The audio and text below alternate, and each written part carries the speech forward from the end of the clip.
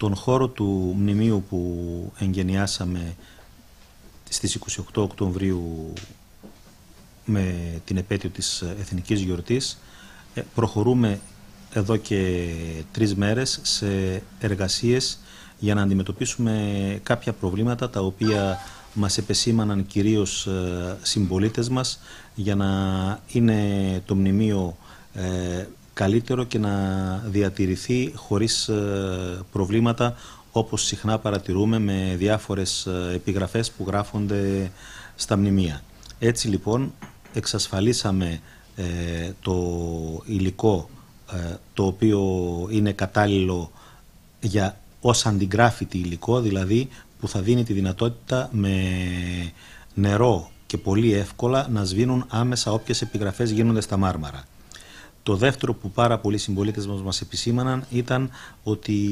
το βράδυ είναι ε, καλύτερο να φωτίζεται ακόμα περισσότερο το μνημείο και έτσι θα προχωρήσουμε σε τοποθέτηση δυνατότερων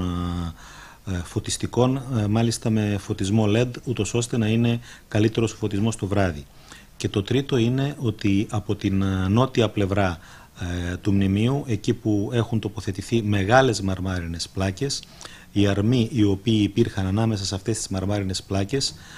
δεν ήταν αρκετοί για να απορροφήσουν τη συστολή και τη διαστολή αυτών των μαρμάρων, των